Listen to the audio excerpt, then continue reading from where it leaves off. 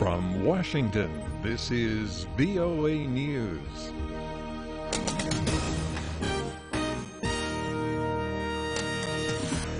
I'm Dave DeForest reporting. New Zealand officials confirmed two people were killed when an earthquake hit 90 kilometers from the city of Christchurch. The 7.8 magnitude quake caused damage to buildings more than 200 kilometers away in the capital, Wellington.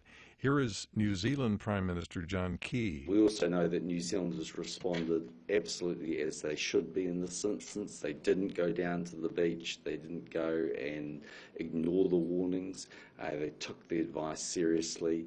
Um, we now know that uh, those around the country, uh, that tsunami risk has been uh, downgraded.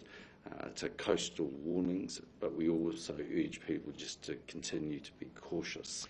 The quake was followed by a series of strong aftershocks. The United States has agreed to take in refugees being held by Australia in Papua New Guinea.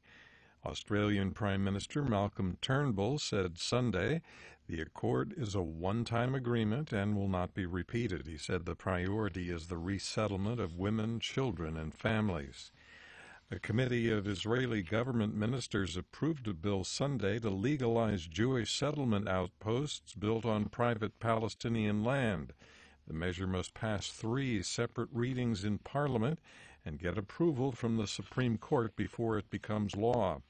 It is aimed at stopping the Supreme Court ordered evacuation of a West Bank settlement. Russian leaning candidate Igor Dodon has uh, declared victory over pro European rival Maia Sandu in Moldova's presidential election. With many of the ballots counted, he says he has over 54% of the vote. Bulgarian Prime Minister Boyko Borisov announced his resignation Sunday. Exit polls in that country's presidential runoff election show a Borisov nominee losing badly to a pro Russia candidate. This is VOA News. U.S. President elect Donald Trump's administration is starting to take shape. He announced Sunday that Republican National Committee Chairman Reince Priebus will be his new chief of staff, the highest ranking White House employee who is basically the top assistant to the president. He also named media executive Steve Bannon as his chief strategist and counselor.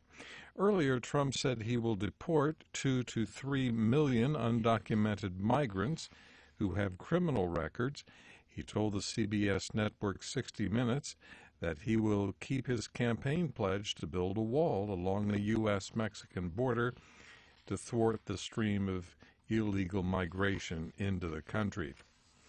British and foreign uh, French foreign ministers did not participate in special talks with their European Union counterparts today to discuss how to deal with President elect Donald Trump. EU Foreign Policy Chief Federica Mogherini called the meeting in Brussels after Trump's unexpected victory Tuesday. A group of refugees held in Australian run camps in the South Pacific will be resettled in the United States. The governor of Myanmar Sunday reported heavy fighting in the western state of Rakhine. Government forces have been hunting for insurgents in an area near the border with Bangladesh. Officials say the insurgents are linked to attacks that killed nine police officers last month. A government statement said the latest fighting was triggered by an ambush on police Saturday by an estimated 60 attackers armed with guns and knives. South Korean prosecutors are likely to question President Park Geun-hye this week concerning a corruption scandal that has crippled her administration and sparked massive rallies calling for her resignation. Ms. Park, whose approval rating has fallen to just 5%, would be the first sitting South Korean president questioned by prosecutors about a criminal case.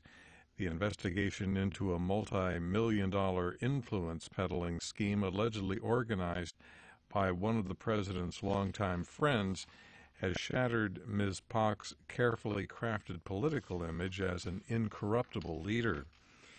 The Iraqi military says it has captured the city of Nimrud from Islamic State militants. The Iraq's Joint Operations Command says the 9th Division of the Iraqi Army has taken the city and has raised the Iraqi flag over its buildings.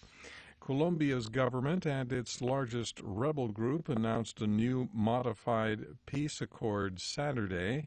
The government and the Revolutionary Armed Forces of Colombia said in a joint statement they had incorporated proposals from various other groups in the new agreement.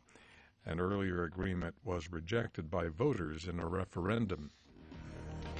In Washington, I'm Dave DeForest. That's the latest world news from VOA.